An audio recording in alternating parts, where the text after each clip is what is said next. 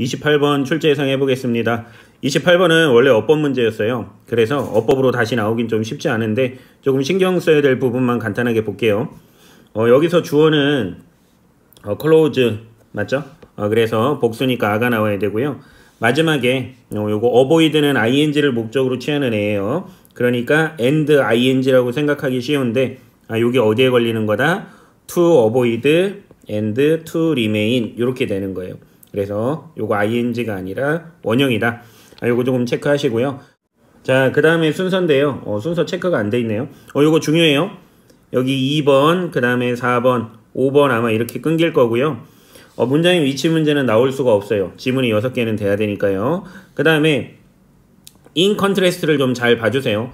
앞에서 뭔가가 왔기 때문에 대조적으로 이런 말이잖아요. 그래서 작년에 모 학교에서 어떤 부분이 나왔었냐면 얘를 여기에 써줬어요.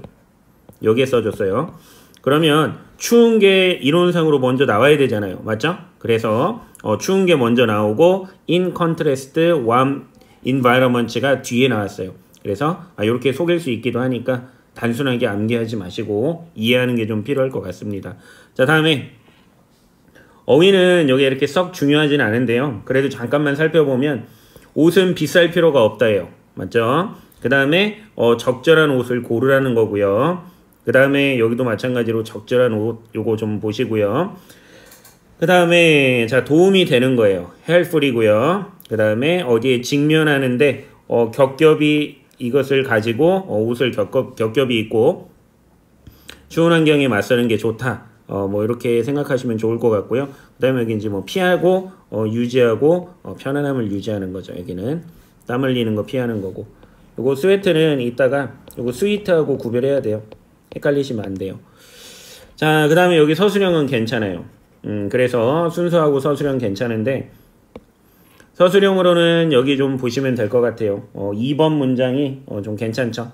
그래서 어, 특히 이 부분 관계 부사도 나오고 진행형도 나오고 그 다음에 어, 이 부분 괜찮죠. 그쵸? 이 부분 이 부분 괜찮고 그 다음에 어, 가장 중요한 건 이 부분이죠. 뭐, 이 부분이 어, 만약에 서술형으로 나온다면 이 부분이 그대로 나올 수 있어요.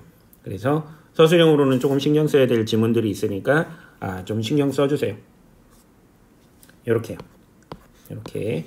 그 다음에 이제 어휘 보시면요. 어, 어휘는 이제 이런 단어들 조금 알아주세요. 음.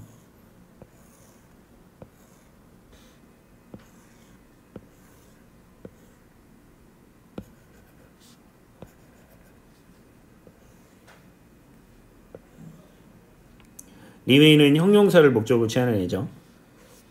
자, 다음에 뭐 뭐뭐 하는 동안에 while 다음엔 절, for 다음에는 구, 시간의 길이가 오고요. during 다음엔 특정 기간, 그 다음에 in contrast 대신에 쓸 수 있는 애들 음, 이렇게 알아두시면 될 것 같아요. 자, 28번은 여기서 끝내겠습니다.